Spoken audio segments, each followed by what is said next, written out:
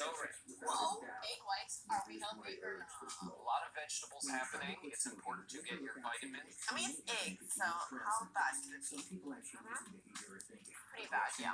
It tastes way too healthy, like something my mom is forcing me. The vegetables don't add anything. It just tastes like vegetables and eggs, and it's not one thing together. Shame on you, whoever invented this recipe. Out of all the omelets that we tried today,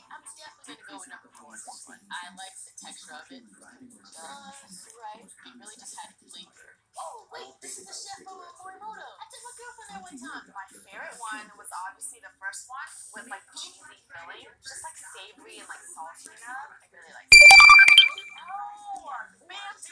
My favorite omelet today, you're gonna come for me in the comments, is omelet number one. I think the eggs were cooked nicely in that one. They were the fluffiest, they were the lightest. Egg and cheese. I think you got yourself a good omelet. Really, I feel like Emeril's just like boom, bam, flavors in your face, and there wasn't anything like wild about that. Interesting. Bam, there you have it. Emeril Lagasse makes the best omelet.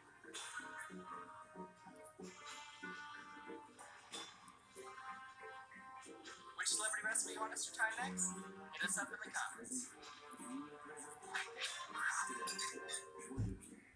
Hey mom, uh, what about tomorrow? We're gonna have to cancel. Oh no, it's Kevin. Hi, headlines. Now the couch is less. I'm gonna look at Portal from nine dollars. You just got a whole lot I know? Here's how to be dope on YouTube. That's how it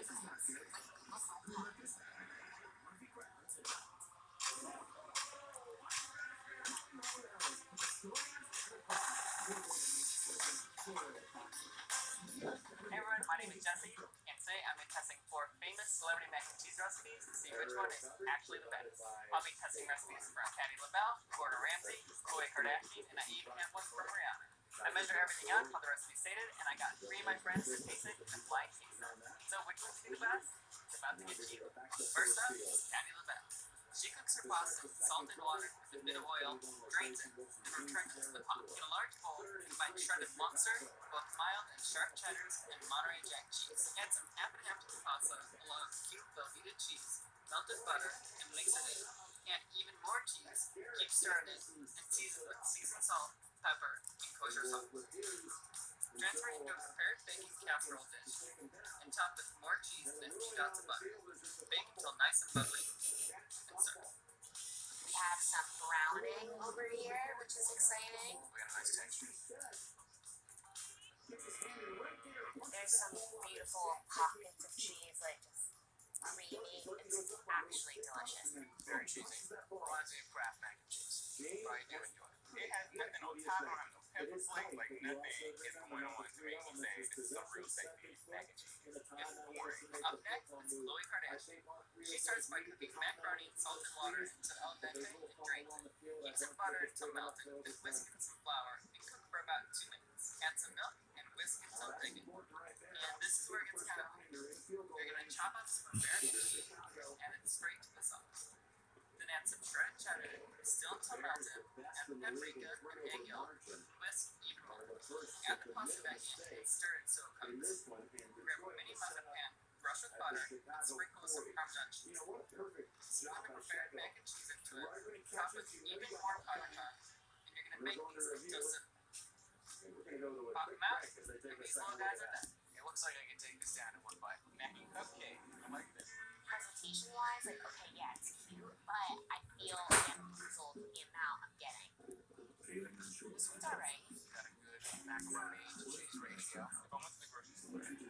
with toys in it, and one of the toys was plastic mac and cheese, toy that I could get for 35 cents, that's what I'm for right now. Next up, Gordon Ramsay.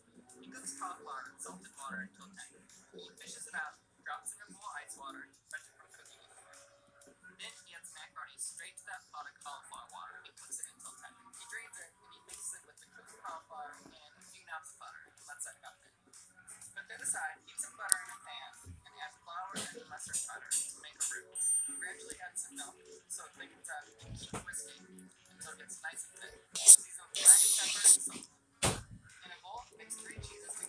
cheddar, Lincolnshire, and Chester.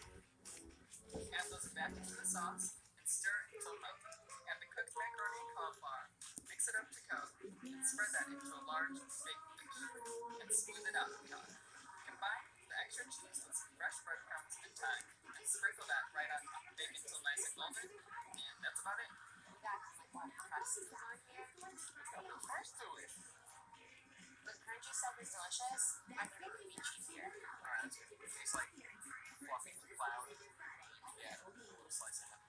I do like the way that this tastes. I don't know what's on it. It's got the mac and cheese with a twist. It looked like it's cauliflower. Important make this mac and cheese. Eating this mac and cheese is like eating a great steak. This is like. Giuliani mac and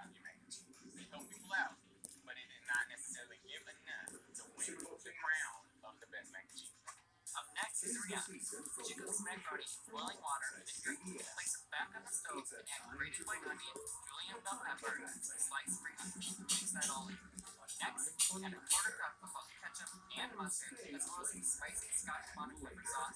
Mix that all in. Add a handful